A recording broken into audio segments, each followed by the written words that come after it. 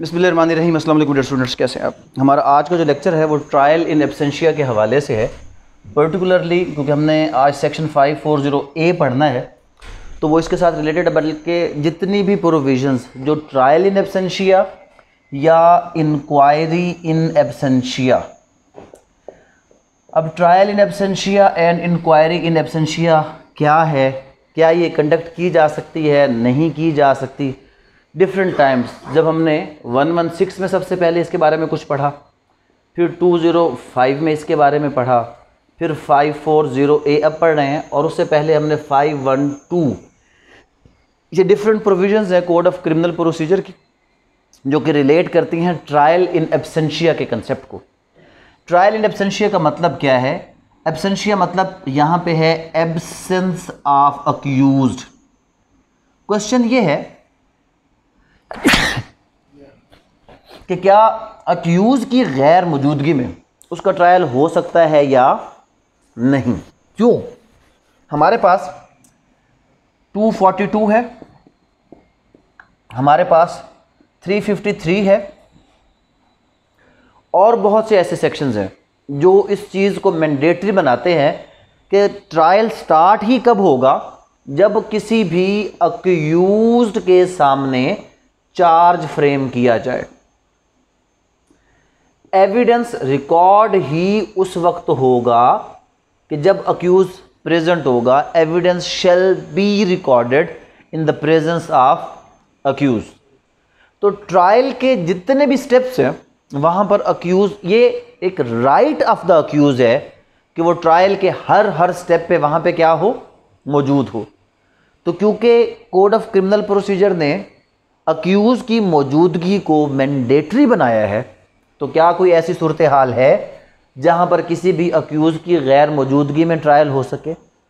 अगर हम पाकिस्तान के ओवरऑल लॉज की बात करें other than the code of criminal procedure तो हमारे पास एक लॉ है जिसको हम कहते हैं A T A anti terrorism act anti terrorism act वहाँ पर इनफेक्ट ट्रायल इन एबसेंशिया है। लेकिन उधर भी 60 डेज़ का टाइम है कि अगर किसी अक्यूज़ का ट्रायल उसकी एब्सेंस में होगा तो 60 डेज़ में वो दरख्वास्त देकर अपनी उस सज़ा को जो है वो ख़त्म करवा सकता है सेट असाइड करवा सकता है।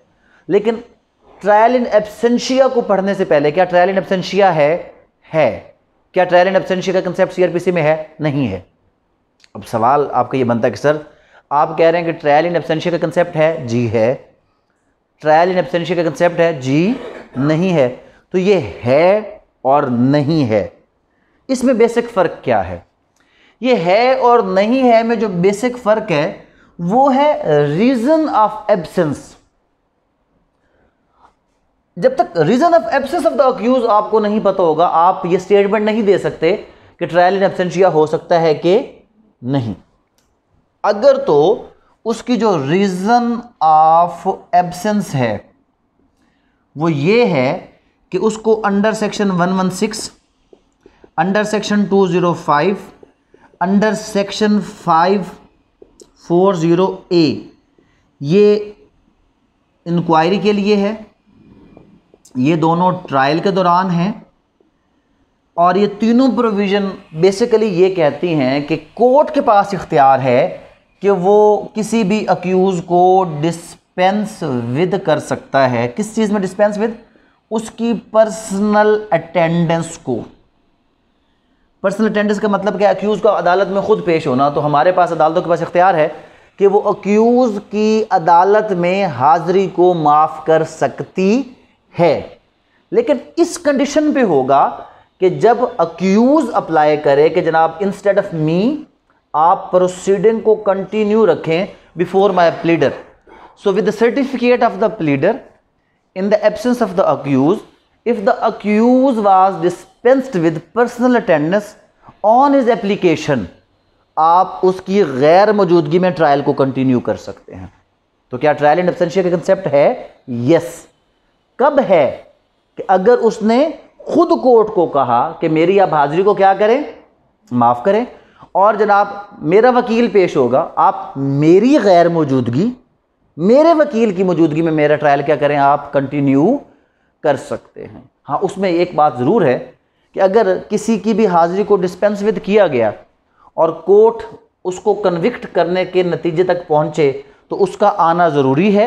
But a person may be acquitted in his absence which order may be pass in the absence of an accused only the order of acquittal may be pass in the absence of the accused order of conviction shall not be passed in the absence of accused.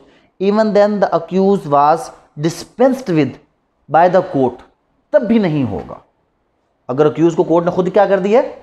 Dispense with कर दिया है। लेकिन trial के बाद अदालत कहती है, इसको सजा देनी है। तो फिर पहले उसको बुलाएँगे और फिर उसको क्या देंगे? सजा। एक्विट करना है तो उसकी गैर मौजूदगी में उसको क्या किया जा सकता है? एक्विट किया जा सकता है। तो यहाँ तक अगर आपको ये पॉइंट क्लियर हुआ तो क्या ट्रायल इन एबसेंशिया है? जी, बिल्कुल है। कब है अगर कोर्ट ने उसको क्या किया हो? डिस्पेंस विद किया हो। अब यहाँ पे आपका सवाल ये बनता है, सर आपने तीन प्रोविजंस लिखी हैं। एक प्रोविज़न तो क्लैरिफाई करती है कि वो तो किसके रिलेटेड है? इंक्वायरी और ये इंक्वायरी भी कौन सी है? कीपिंग पीस की जो सिक्योरिटी जो मजिस्ट्रेट गुड बिहेवियर की कीपिंग पीस की, या किसी भी मामले की सिक्योरिटी ले सकता है फॉर प्रिवेंशन ऑफ़ अफेंसेस तो उस प्रिवेंशन ऑफ़ अफेंसेस के लिए मजिस्ट्रेट जो इंक्वायरी कर रहा होता है, वहाँ पे 116 में वो किसी को डिस्पेंस विद करना चाहे तो कर सकता है। So what about 205 and 540 A कि यहाँ पे कब कब हाजिरी से माफ़ी मिल सकती है? इन दोनों में डिफरेंस क्या है? तो 205 ये भी ट्रायल इन एबसेंशिया है, और जो यानी कि मेन प्रोविज़न है ना, जो ट्रायल इन एबसेंशिया की हैं, वो क्या है? ये दो। अगर हमसे पूछा जाए कि जनाब क्या ट्रायल इन एबसेंशिया हो सकता है? जी, बिल्कुल हो सकता है। किस सेक्शन के तहत हो सकता है? अंडर सेक्शन 205 एंड 540 ए क्या यहाँ पर ये लफ्ज़ लिखा है? आप दोनों सेक्शन पढ़ेंगे तो उसमें ये लफ्ज़ भी लिखा है। दोनों में फ़र्क क्या है वो आपने देखना है। In fact to 205 empowers a court क्या इंपावर करता है? कि अगर कोई इवन देन एक सिंगल अक्यूज कितना अक्यूज होगा? सिंगल अक्यूज और वो हाजिरी से माफ़ी लेना चाहता तो वो किस सेक्शन में ले सकता है? 205 में। अंडर सेक्शन 205 कोर्ट के पास इख्तियार है कि वो किसको हाजिरी से माफ़ कर सकता है? इवन एक ही अक्यूज़ है। कितना अक्यूज़ है? एक। वो उसको हाजिरी से माफ़ करके उसको कहे कि अपने प्लीडर की मौजूदगी में केस चलाएँ। खोले 205 पढ़े। कैसे कुछ लिखा हुआ 205 खोल लीजिए। तो जब आप 205 खोलेंगे तो उसमें यही सेम पॉइंट किस तरह लिखा होगा? कुछ इन अल्फाज में लिखा होगा, जनाब, आपका 205 के whenever magistrate issues summons he may if a sees reason to see so to do, dispense with the personal attendance of the accused and permit him to appear by pleader. कर दिया डिस्पेंस विद और किसके ज़रिए से उसको इजाज़त दी? Pleader के ज़रिए से। But the magistrate inquiring into trying the case may in the discretion at any stage of the proceeding direct the personal attendance of the accused and if necessary enforce such attendance in manner hereinbefore provided लेकिन अदालत 205 में कोई accused की तादाद लिखी है? नहीं। किसी भी एक सिंगल अक्यूज को भी क्या कर सकती है? डिस्पेंस अब क्या मुकदमे में हमेशा एक ही अक्यूज़ होता है या एक से ज़्यादा अक्यूज़ हो सकते हैं? हो सकते हैं। अक्यूज़ हैं जनाब ए बी सी डी तीन, चार अक्यूज़ हैं। कितने हैं मोर देन वन अब सबका एक रोल भी नहीं है। किसी का सब्ज़ी आला, किसी का चिकन आला, किसी का चौरी कीमे आला रोल हाँ? सबके रोल भी क्या हैं? डिफरेंट है। अब ये बंदा कहता कि जनाब, मेरी इस मुकदमे में हाजिरी की कोई ख़ास ज़रूरत नहीं है। मेरी हद तक प्रोसीडिंग क्या हो चुकी है? ऑलमोस्ट कंप्लीट है जनाब। मेरे ऊपर तो कोई ऐसा मामला है ही नहीं। तो मेहरबानी करें, मुझे हाजिरी से क्या दे दें? माफ़ी दे दें। तो फाइव फोर ज़ीरो में if there are more than one accused और उनमें से कोई एक या एक से ज़्यादा कहें कि कुछ आते रहेंगे और कुछ को हाजिरी से क्या दे दी जाए? माफ़ी। तो फाइव फोर ज़ीरो ए में कुछ आते रहेंगे, कुछ को हाजिरी से क्या मिलनी है? माफ़ी मिलनी है। तो फ़र्क दोनों में एक ही है कि 205 में एक्यूज़ कितना होगा? सिंगल को भी हो सकती है। 540 ए क्या कहता है?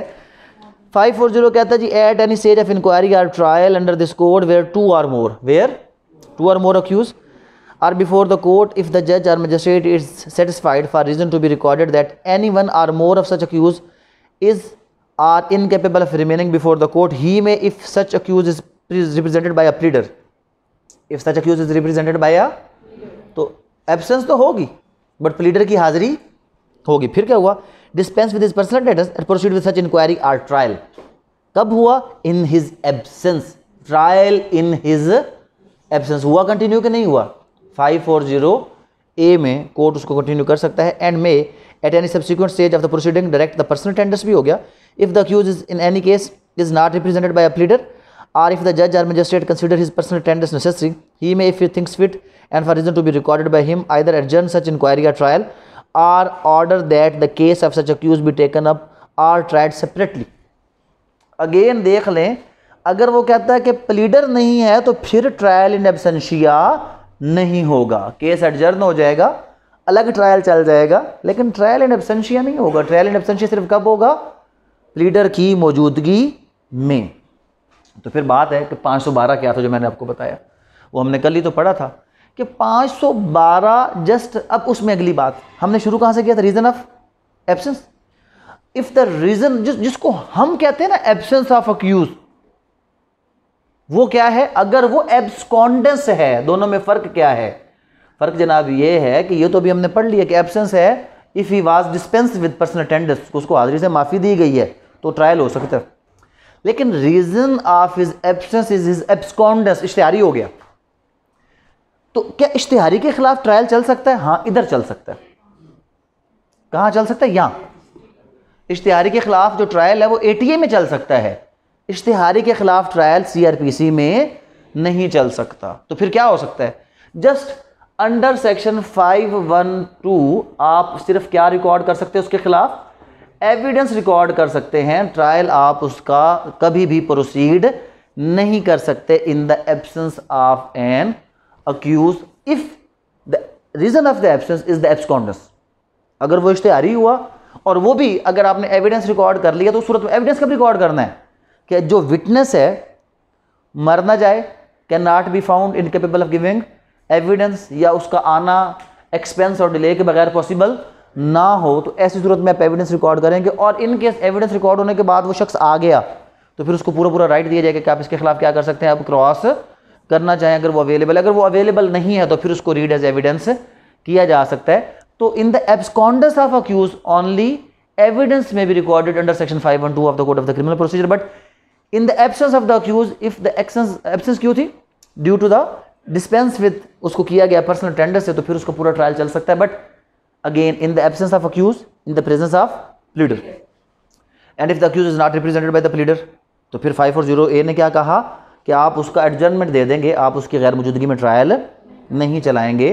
तो ट्रायल के लिए या तो अक्यूज का होना ज़रूरी है और किसका ज़रूर होना ज़रूरी है? अब यहाँ पे अगली बात है ना, कि इसमें तो कहीं पर भी नहीं आया कि जनाब एक्विट होगा या कन्विक्ट होगा। तो जब आप वो एट जजमेंट में जाएँगे तो वहाँ पर लिखा है कि judgment of acquittal judgment of acquittal may be pass in the absence of accused judgment of conviction में उसका होना ज़रूरी है, वो सेक्शन तलाश करें और इसमें रेफर करें। जल्दी से किताब खोलें सीआरपीसी की। जजमेंट कैसे खोलें? और जजमेंट ऑफ़ एक्विटल के बारे में चले कि वहाँ पे ये सेक्शन क्रॉस करवाएँ कि जहाँ पर ये चीज़ लिखी हुई है कि जजमेंट ऑफ़ एक्विटल अच्छा जजमेंट ऑफ़ एक्विटल के वाले सबको पता, दो चीज़ें अगर कोर्ट किसी को एक्विट करने तक पहुँच जाए ना, किसी को क्या करने तक पहुँच जाए? एक्विट तो मुझे ये बताएँ कि फ़ौरन फैसला हो जाता है या फैसला बाद में आता है? फैसला दो तीन चार महीने लग जाते हैं। तो जब अदालत ने माइंड सेट बना ली कि उस बंदे को हमने क्या करना है? एक्विट करना है तो फिर चार महीने जेल में रखने की ज़रूरत है? नहीं। तो कोर्ट, अब एक्विट तो तब होगा जब आर्डर ऑफ़ क्या पास होगा? एक्विटल तो फिर कोर्ट क्या करती है, जब कोर्ट एक जजमेंट लिखती है, और वो जजमेंट में इस नतीजे पर पहुँचती है कि मैंने इस बंदे को क्या करना है? एक्विट करना है। तो उसको बेल दे देती है। उसको क्या दे देती है कोर्ट? बेल कब तक बेल कि जी ठीक है, इसको बेल दे दे जब तक इसका एक्विटल का ऑर्डर पास नहीं होता, तुम बेल पर हो तुम एक्विट हो। समझ आई कि नहीं आई? ये कोर्ट का इख्तियार है, ये दोनों चीज़ें तलाश करें। खैर, वो, उसका ट्रायल इन एबसेंशिया के साथ तलक नहीं है। आप ये देखें कि कन्विक्शन इन एबसेंस और एक्विटल इन एबसेंस तो चाहे कोर्ट ने खुद उसको डिस्पेंस विद किया था बट अगर सज़ा देनी है तो उसकी प्रेजेंस ज़रूरी है। एक्विट करना तो उसकी प्रेजेंस ज़रूरी नहीं है। ये सेक्शन जल्दी से मुझे मार्क करें कौन से। होता क्या है कि जब भी आप कोई भी इस तरह का सवाल लिखते हैं ना तो जो अट्रैक्टिंग और फैसिनेटिंग फैक्टर होता है, वो यही होता है कि हम सीआरपीसी में से क्या कर रहे हैं। जहाँ जहाँ से जो चीज़ मिलती है, उसको क्या करते जा रहे हैं? इकट्ठा करते जा रहे हैं ना। तो यही प्रॉपर एक एग्जामिनेशन का असल पैटर्न ये है। और वो अब आप इसको अगेन इसको रेड विद करवाएँ, इन दोनों को, इन दोनों को रेड विद करवाएँ 366 के साथ। किसके साथ करवाएँ? जजमेंट के साथ। जो ये कहता है कि जी अक्यूज को डिस्पेंस विद कर दिया। अक्यूज को क्या कर दिया आपने? डिस्पेंस विद ट्रायल चल सकता नहीं चल सकता? चल सकता है। अगर ट्रायल के एंड पे कोर्ट इस नतीजे पर पहुँचता है कि जजमेंट ऑफ़ एक्विटल है तो फिर उसको बुलाने की ज़रूरत नहीं है, बस एक्विट कर देगी। और अगर कोर्ट इस नतीजे पर पहुँचता है कि नहीं, इसको क्या करना है? कन्विक्ट करना तो फिर उसको बुलाना ज़रूरी है। कहाँ लिखा है? कहते हैं कहते हैं जनाब the accused shall if in custody be brought up ये तो हमारी बात ही नहीं, अगली बात है। कहते हैं इफ़ नॉट इन कस्टडी अगर वो नॉट इन कस्टडी तो कहाँ पे होगा? या तो बेल पे होगा या डिस्पेंस विद होगा। अगली बात। कहते हैं be required by the court to attend to hear judgment deliver except अगली बात क्या है? Except where is personal attendance during the trial has been dispense with आ गया personal attendance during the trial has been dispense with फिर क्या हुआ? And the sentence is one of the fine only or he is acquitted or he is acquitted in either of which case it may be delivered in the presence of his pleader तो अगर acquittal की judgement है, वो accused की गैर मौजूदगी में हो सकती है। और अगर जजमेंट है कन्विक्शन की तो वो कब होगी? उस सूरत में होगी कि जब अक्यूज़ आपका क्या होगा? मौजूद होगा। हाँ अगला उसने फिर लिख दिया कि अगर वो ना भी हो जजमेंट पास हो जाए तो फिर भी जजमेंट वैलिड होगी। इस जजमेंट पे फ़र्क नहीं पड़ेगा। इवन कन्विक्शन की जजमेंट भी बंदा ज़मानत पे था। बंदा कहाँ पे था? ज़मानत पे। और वो नहीं आया। कोर्ट ने जजमेंट पास कर दी, उसको सज़ा सुना दी और वो भाग गया। तो वैलिड है, उसकी गैर मौजूदगी कहता वैलिड है, कोई भी फ़र्क नहीं पड़ता। लेकिन ट्रायल उसकी मौजूदगी में होना चाहिए, और अगर उसकी मौजूदगी में नहीं होगा तो उस ट्रायल की कोई भी अहमियत नहीं होगी।